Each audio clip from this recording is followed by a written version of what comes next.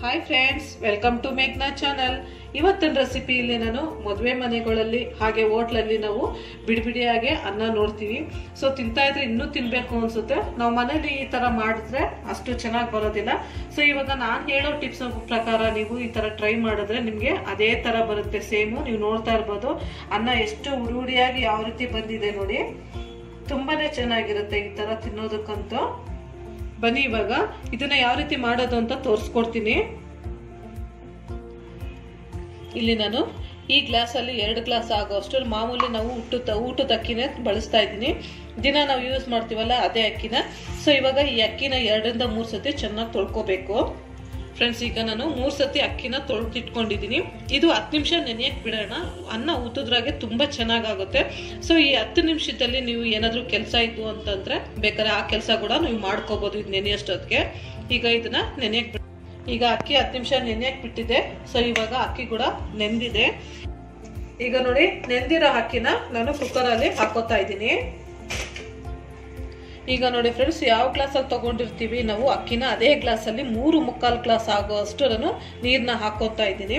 ಯಾಕಂದ್ರೆ ಆಲ್ರೆಡಿ ನಾನು ನೆನೆಸಿರೋದ್ರಿಂದ ನೀರು ಜಾಸ್ತಿ ಏನು ಇಡ್ಸೋದಿಲ್ಲ.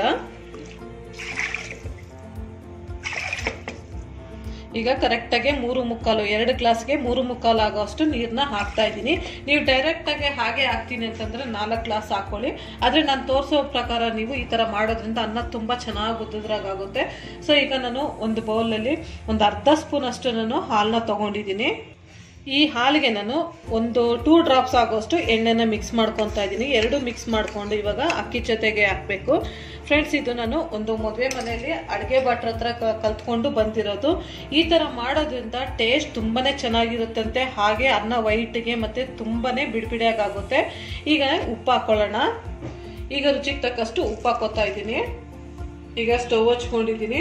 ಸೊ ಲಿಡ್ನ ಕ್ಲೋಸ್ ಮಾಡಿ ಜಸ್ಟ್ ಎರಡು ವಿಸಿಲ್ ಆದರೆ ಸಾಕು ಫ್ರೆಂಡ್ಸ್ ಈಗ ಸ್ಟೀಮ್ ಹೋಗಿದೆ ಓಪನ್ ಮಾಡ್ತಾ ಇದ್ದೀನಿ. ನೋಡ್ತಾ ಇರ್ಬೋದು, ಅನ್ನನು ಎಷ್ಟು ಚೆನ್ನಾಗಿ ಉದುದ್ರಾಗ ಆಗಿದೆ ಅಂತ. ನೋಡಿ.